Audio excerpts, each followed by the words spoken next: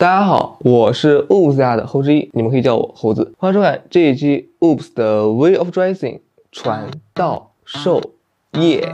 无论你是一只潮狗还是一只土狗，或许可能只是猴子我的颜狗，肯定都有过穿着连帽卫衣的经历。连帽卫衣作为这个世界上普及度最高的服饰单品之一，如何把人手一件的卫衣穿出特色，早就已经是避不开的话题了。相信大家跟猴子我一样啊，从初秋到深冬的穿搭造型中，都会有连帽卫衣的一席之地。这期视频就想跟大家聊一聊，我在不同时节会如何进行卫衣的搭配。一件连帽卫衣想要搭配起来好看，卫衣。自身的实穿观感啊就不能太差。大多数朋友在日常穿搭中首选的卫衣款式应该就是大 logo 的印花款，再配上宽松的剪裁。猴子我个人感觉这是一项很符合大众审美却又有点过于单调的选择吧。猴子这次视频示范的卫衣来自 Vans，是一个诞生于1976年的美国街头品牌。卫衣上面除了有一个标志性的品牌大 logo 刺绣以外，在两个袖口以及下摆位置的螺纹处都有暗红色的条纹加持，让这件卫衣就算单穿起来也不会感。感觉太过于单调。如果让猴子我在初秋以连帽卫衣展开搭配的示范，我会选择一件条纹衬衫进行打底，衬衫的衣领和下摆刚好能微微显露，层次感有所提升的同时，又不会像内搭白色的高领 T 啊显得自己的脖子贼短，而且呢还叠穿的有点过于刻意了。这个时候再加上上长下短的经典配置，惬意十足的同时啊却又不显做作的 City Boy 感也呼之欲出了。入冬了，我们可以把自己的连帽卫衣作为内搭，外面再套上一件。宽松的夹克外套，卫衣和夹克的设计风格要尽量统一一点。比如说像猴子我这次搭配的外套和卫衣，整体都是美式复古的风格，再加上夹克和卫衣上面又都有暗红色的颜色呼应，搭配在一起啊就会显得很融洽。实不相瞒，夹克套卫衣也是猴子我冬季滑板的首选搭配方式，因为运动的时候穿脱起来非常方便，而且如果选对了款式，很有酷酷的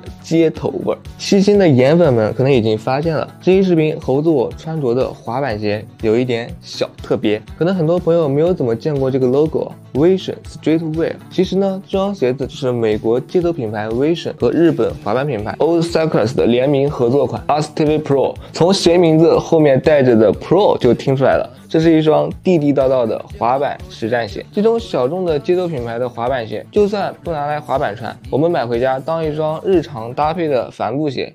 日常搭配的帆布鞋也完全不是问题啊！猴子我自己本身就是一个滑手，也就是滑板玩家嘛，平常就喜欢穿的和大多数人与众不同。如果你也不想在大街上和别人尴尬撞衫撞板鞋，Vision 的许多衣服鞋款啊，确实还蛮出彩的，可以去搜寻着看一看。好了，这期卫衣穿搭咱们也就先聊这么多了。如果你喜欢本期视频内容的话，别忘了时刻关注这个带你探究与发现参杂友们糟糕生活中的美好商品的频道。俄普斯。我是扣十一我们下期视频再见拜拜。